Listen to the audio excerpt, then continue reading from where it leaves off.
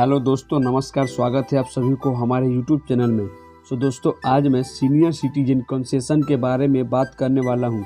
जैसे कि आपको पता होगा कि सन 2020 कोविड 19 के बाद से इंडियन रेलवे में सीनियर सिटीजन डिस्काउंट, यानी कि वरिष्ठ नागरिकों को जो छूट मिलती थी, वो पूरी तरह से बंद कर दी गई थी।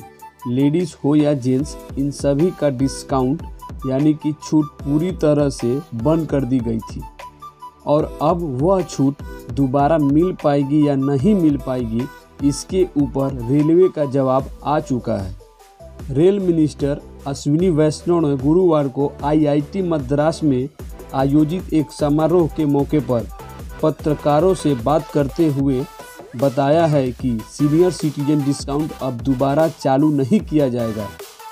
दोस्तों, हमारे रेल मिनिस्टर अश्विनी वैष्णव का सीधे सीधे कहने का मतलब ये है कि अगर इंडियन रेलवे सौ रुपये खर्च करती है तो पैंतालीस रुपये अपने यात्रियों से लेती है और पचपन रुपये भारत सरकार इंडियन रेलवे को सब्सिडी के तौर पर दे रही है।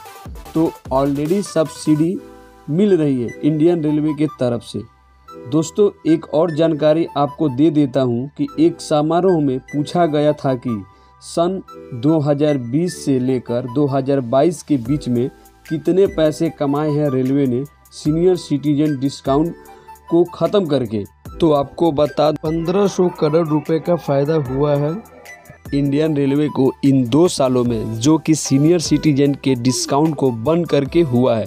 सो आई होप कि आप सभी को हमारा जानकारी काफ़ी अच्छा लगा होगा। अगर अच्छा लगा होगा तो आप हमारे चैनल को लाइक, शेयर एंड सब्सक्राइब ज़रूर करें ताकि हमारा अगला वीडियो आप तक पहुँच सके।